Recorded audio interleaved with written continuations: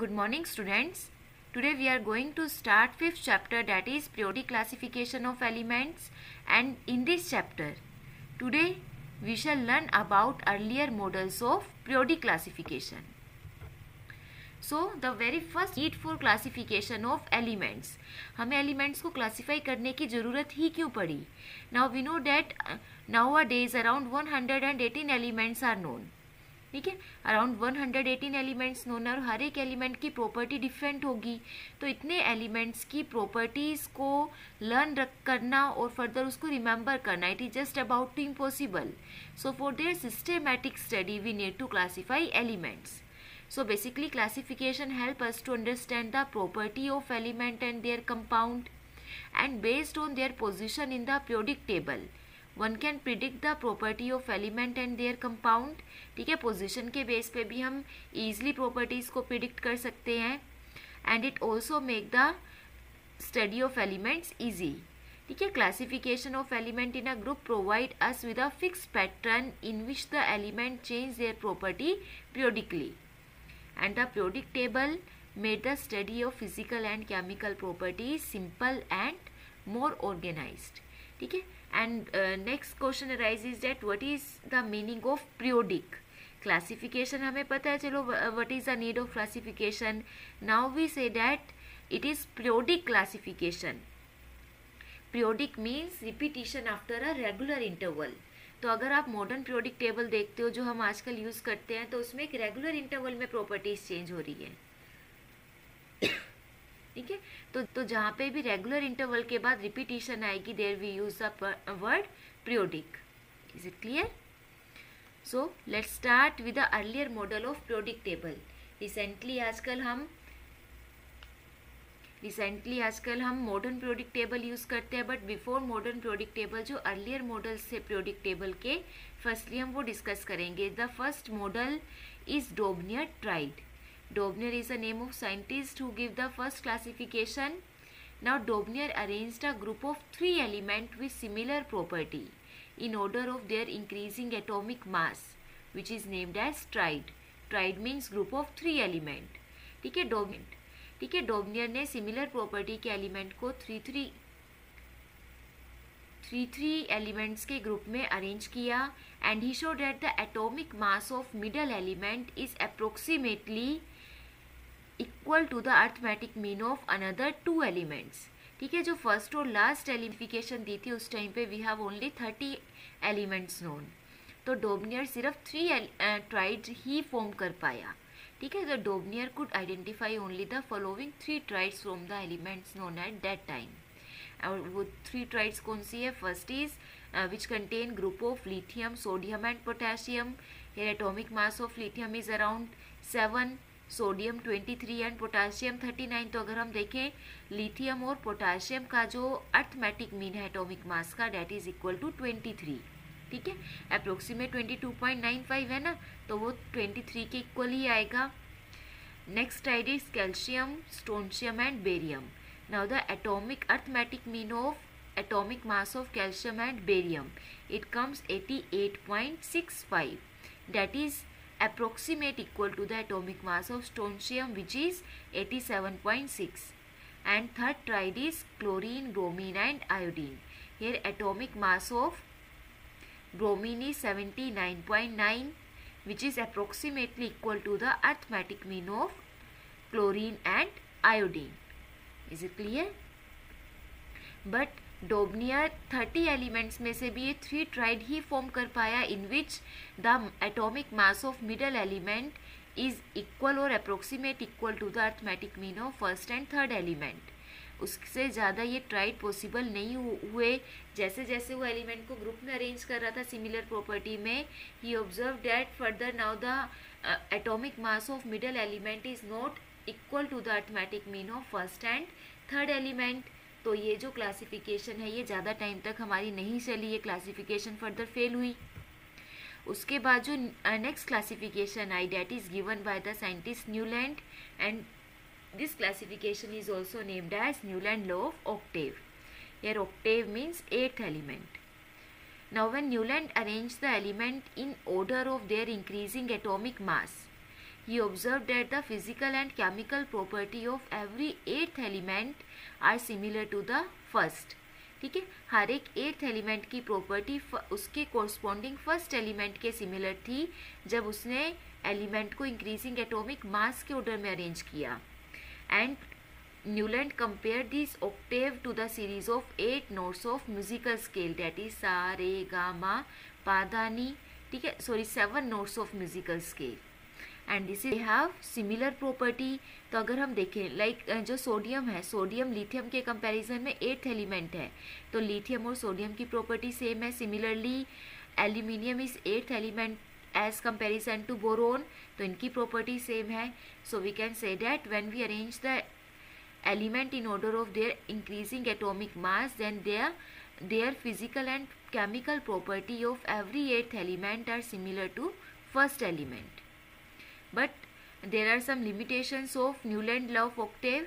that this uh, law is applicable only up to atomic mass 40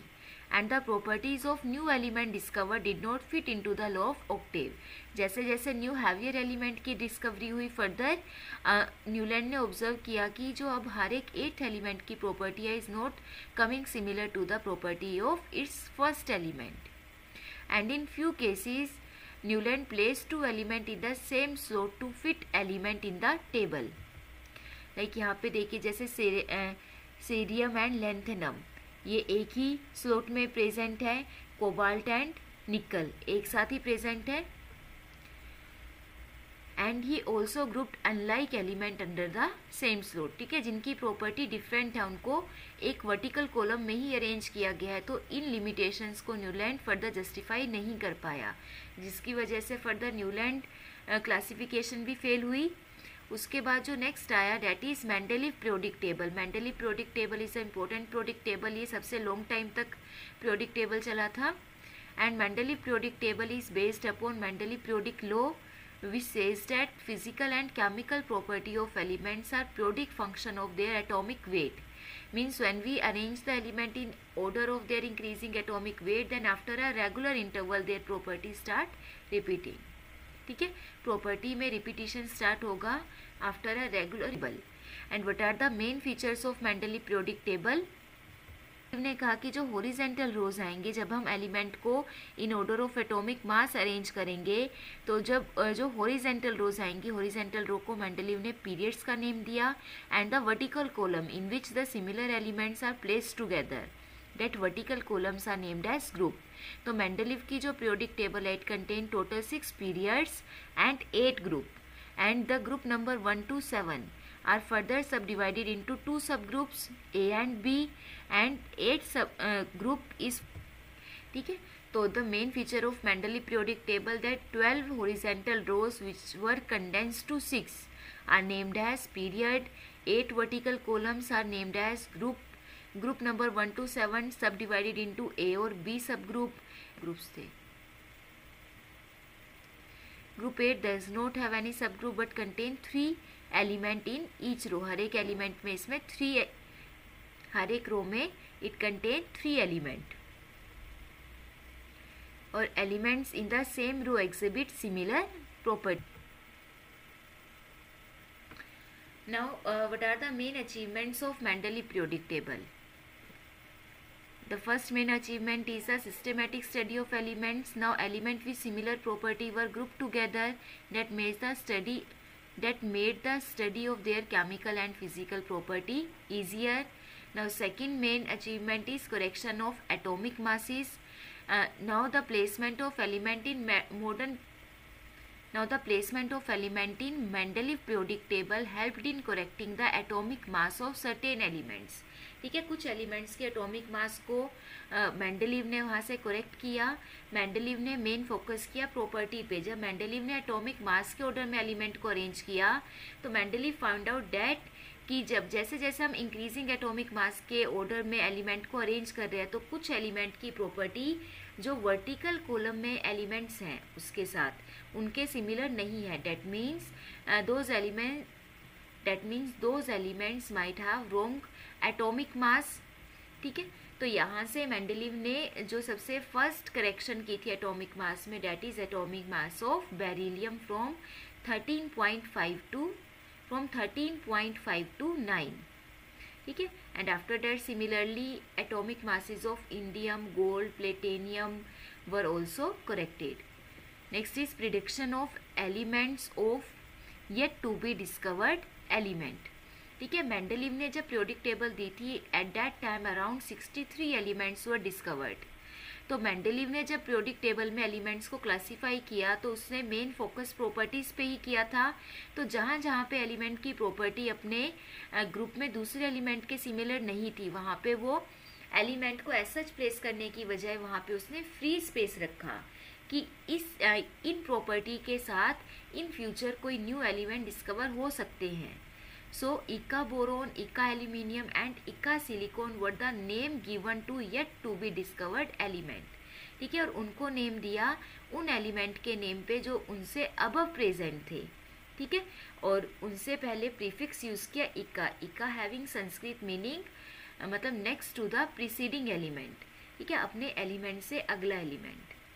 तो इक्का boron means यहाँ पे उसने बोरोन के बाद एक फ्री गैप रखा इक्का एल्यूमिनियम में एल्यूमिनियम के बाद एक फ्री गैप था एंड इक्का silicon which the element which is next to silicon and the property of these element could be predicted accurately from the element that belong to the same group and these elements are now discovered were named as scandium gallium and germanium eka boron as scandium Ica aluminium as gallium and Ica silicon as germanium. Next important uh, point about Mendeleev periodic table is the placement of noble gases. Now when Mendeleev periodic table discovered there were now when Mendeleev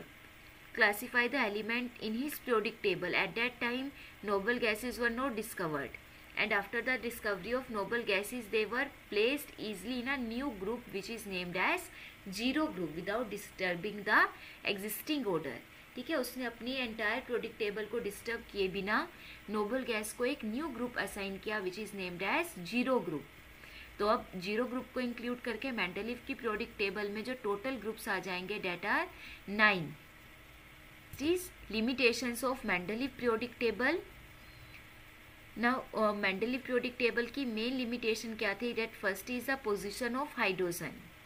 hydrogen की position को Mendeleev justify नहीं कर पाया now hydrogen resemble both alkali and halogens in their property alkali metals first A group में present है and halogen Mendeleev की periodic table में seventh A group में प्रेजेंट थे ठीक है और हाइड्रोजन की प्रॉपर्टी दोनों के सिमिलर है so Mendeleev could not able to justify the position of hydrogen की वो फर्स्ट ए ग्रुप में आएगा या सेवन्थ ए ग्रुप में आएगा next position of isotope now we know that in case of isotope atomic number remain same but atomic mass changes अब Mendeleev ने अपनी property now Mendeleev classify the element in order of their increasing atomic weight अब isotope में तो हर एक element का atomic weight different होगा वेट डिफरेंट होगा एटॉमिक वेट डिफरेंट होगा तो अगर आइसोटोप्स में एटॉमिक वेट डिफरेंट है तो आइसोटोप को डिफरेंट पोजीशन क्यों नहीं दी गई इन मैंडली प्रोडिक टेबल ठीक है ये मैंडली जस्टिफाई नहीं कर पाया next anomalous pair of elements now in Mendeleev periodic table cobalt which have higher atomic weight What was placed before nickel in the periodic table? Why is it so? That could not justify, that is not justified by Mendeleev. Now, in case of Mendeleev periodic table, some like elements are present in different group like platinum and gold have similar property but they are present in different group. And the main limitation of Mendeleev periodic table that it does not able to explain the cause of periodicity among the element. What is cause of periodicity? That Mendeleev said that properties of element are repeated after a regular interval. Now that is periodicity. ठीक है repetition after a regular interval that is periodicity now what is the reason of repetition ठीक है अब एक regular interval के बाद property repeat क्यों हो रही है what is the reason behind that that reason does not that reason could not explained by Mendeleev is it clear so to overcome this limitation जो हमारे पास अब रिसेंट न्यू प्रोडिक्ट टेबल है you understand earlier models of periodic table very well